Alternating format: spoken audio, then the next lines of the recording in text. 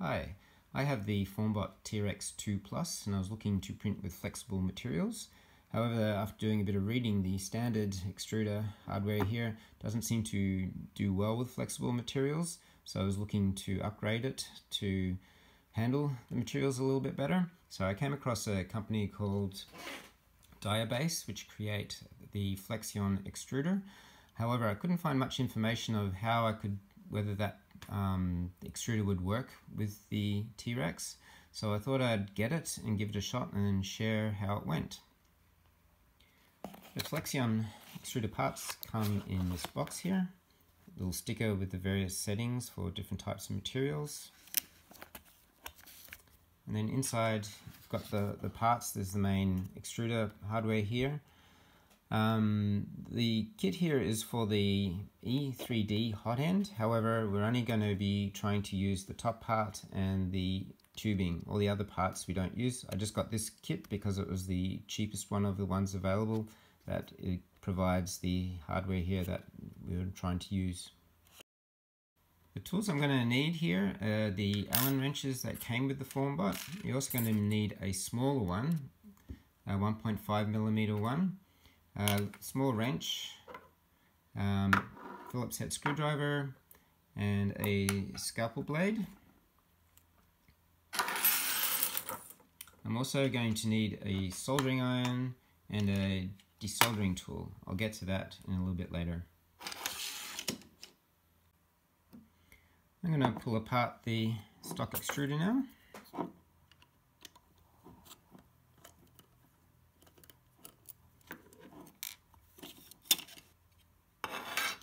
The instructions that came with the Formbot will show you how to take the actual head off the printer. Uh, it's basically these two screws right here you loosen and the whole head comes off quite easily.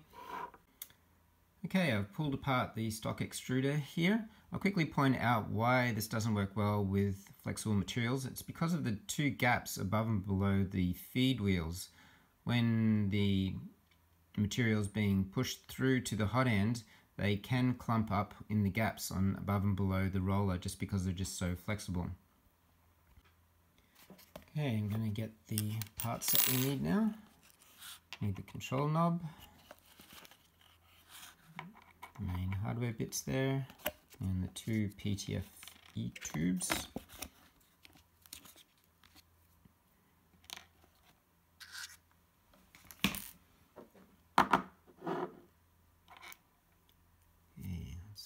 Putting this together.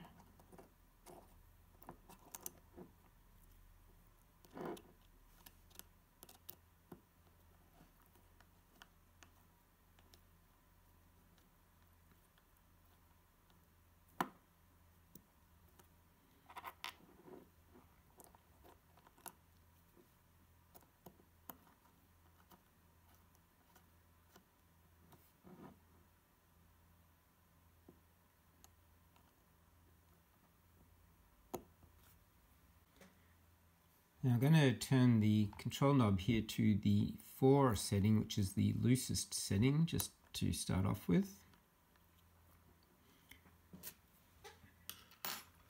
Now the next part is to adjust the feed wheel here.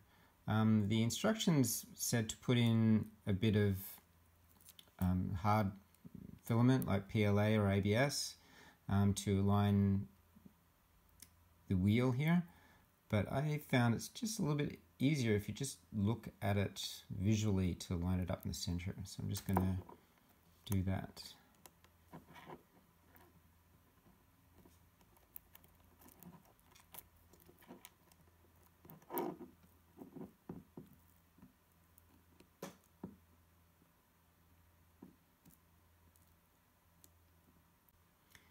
Okay, I'm just tightening the feed wheel screws here is the one that goes onto the flat side of the stepper shaft here.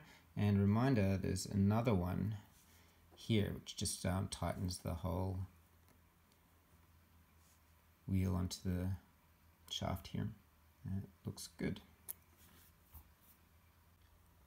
Okay looking at the hot end parts here now Now the FormBot is a little bit different to what other manufacturers do in that the PTF tube doesn't go all the way through the hardware to the hot end. There is a little bit of PTF tube inside the heat break here, but not at the top here, so the PTF tube doesn't go through. Now I had two options here. One is to drill this hole larger so to get the PTF tube through. I was a little bit nervous about doing that, so I'm going to instead cut the PTF tube that came with the Flexion parts so that'll fit nice and snug between the Flexion parts and the mounting hardware here. I'm going to cut the tube here to just a bit over 12 millimeters. Line up here. I'm just going to do it approximately and then I'm going to trim it down to make it all snug.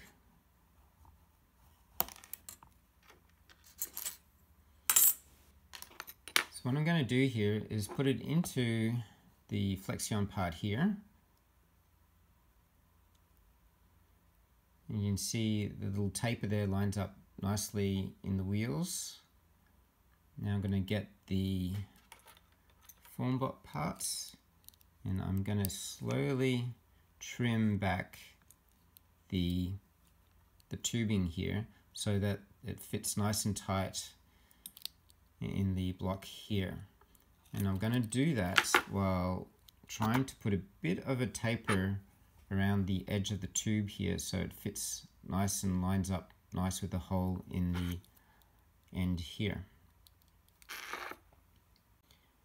Okay, I've been working at this piece of tubing here so it fits nice and snug. I put a little piece of hard rigid flip filament in here just to help the lining up and trimming. So I'm just going to do the final fit here. And everything seems to fit nice and snug. I'm going to tighten that up.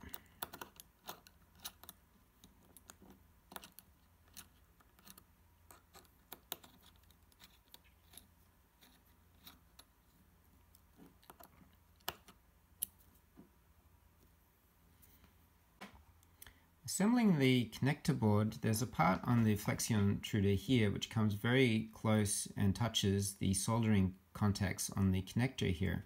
So what I did was desoldered this connector here and just put a very small amount of solder on the part that is away from the Flexion um, part here. And to minimize the risk of any short circuits, I'm going to put a piece of Kapton tape on the part that's touching the circuit board here. I'm just going to stick the piece on here and then I'm going to just trim it a little bit and fold it back.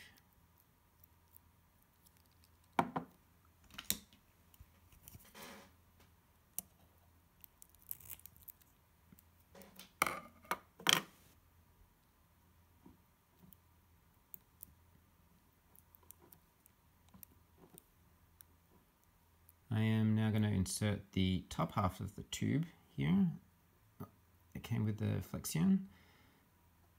Now I'm going to move that sleeve up, up a bit. The idea is that it'll push against the circuit board and prevent this tube from sliding out during uh, extraction